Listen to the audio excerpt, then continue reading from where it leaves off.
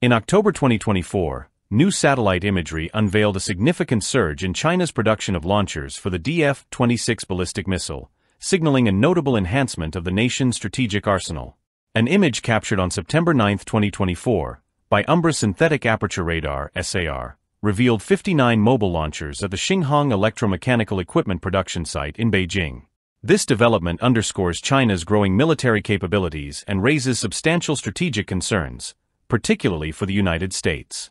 The DF-26, an intermediate-range ballistic missile, IRBM, from the Dongfeng family, was developed by the China Aerospace Science and Technology Corporation, CASC. With a formidable range of 4,000 kilometers, the DF-26 is the first Chinese missile designed to strike conventional targets, including U.S. military bases in Guam. This solid-fuel, two-stage missile measures 14 meters in length and weighs approximately 20 tons. It has a payload capacity ranging from 1,200 to 1,800 kilograms, allowing for the delivery of nuclear warheads as well as various conventional munitions. The missile is deployed on a mobile Taian HTF 5680 launcher, enabling rapid and discrete positioning. The DF-26's modular design allows for the warheads to be swapped based on mission requirements, supporting both land strikes and attacks on moving naval targets, bolstered by an advanced terminal guidance system. Since its introduction in 2015, production of the DF-26 has accelerated significantly, with estimates indicating that over 250 units have been produced by 2024. The brigades of the People's Liberation Army PLA, equipped with these missiles benefit from their mobility and precision strike capabilities, targeting a wide array of assets, including military installations and medium-sized vessels. This operational flexibility, combined with the DF-26's extended range, positions it as a pivotal component of China's anti-access and area denial strategy in the Asia-Pacific region. Between 2023 and 2024, Satellite imagery and industry reports suggest that the Beijing Xinhong facility has produced at least 72 new launchers, sufficient to equip two additional missile brigades.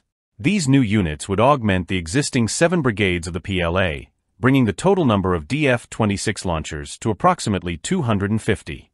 However, some analysts, particularly from the Federation of American Scientists, caution that China may be inflating the actual number of launchers, potentially obscuring the true extent of its military capabilities.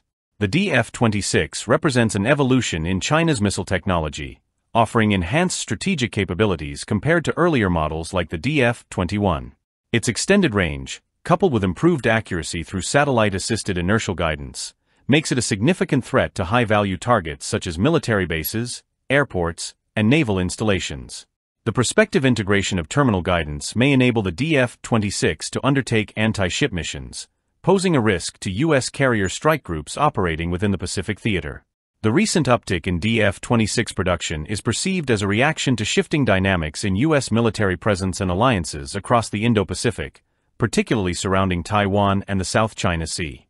This expansion of China's missile capabilities may also reflect an intention to challenge U.S. access to strategic bases critical for supporting regional alliances with countries like Japan and South Korea. The rising tensions in the region, alongside the dual-use, nuclear and conventional nature of the DF-26, heighten concerns regarding the risk of unintended escalation during a crisis, especially if a conventional strike is misinterpreted as a nuclear threat. As China continues to bolster its strategic forces, it is simultaneously enhancing its nuclear capabilities.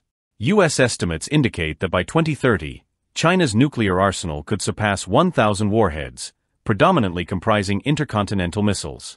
In parallel, China is actively working to increase the number of long-range missile launchers, including the DF-31 and DF-41, which possess the capability to reach the U.S. mainland.